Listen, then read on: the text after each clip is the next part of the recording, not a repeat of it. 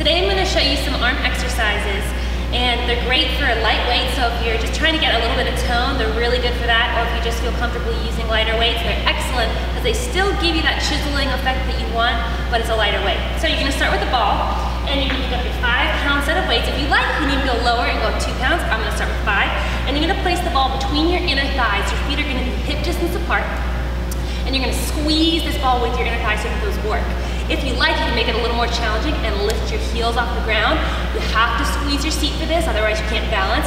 And you're gonna hold that stomach nice and tightly, back as nice and long, shoulders are down. You're gonna lock these elbows into your side and your palms are gonna flow backwards, or outwards, so that you can bring your arms up in a W curl. You're gonna bring them up and resist down. Two, and three, good.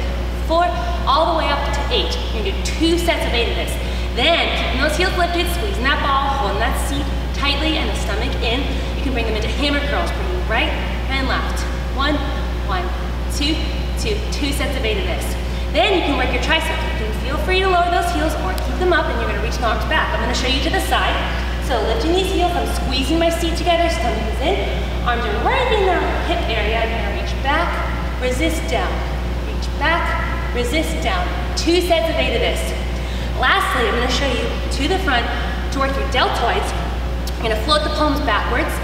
You're gonna have your arms right in front of you and you're gonna bring your arms up to about 90 degrees like puppets. So right from your elbows. You can lift the heels up if you like. Again, holding that stomach, squeezing that ball. Up, resist down.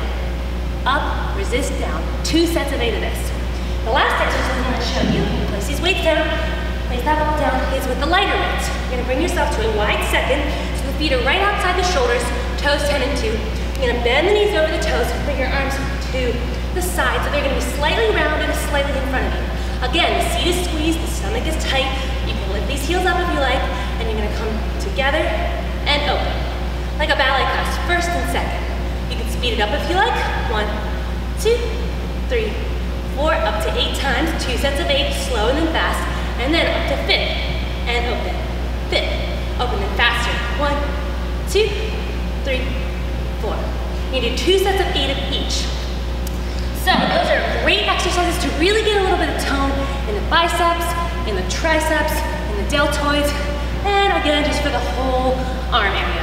It's great for tone, and it gets your heart rate going, and also works your stomach, and your seat, and your inner thighs. If you have any more questions, you can come see me at the Weinstein JCC. Hope you enjoyed that.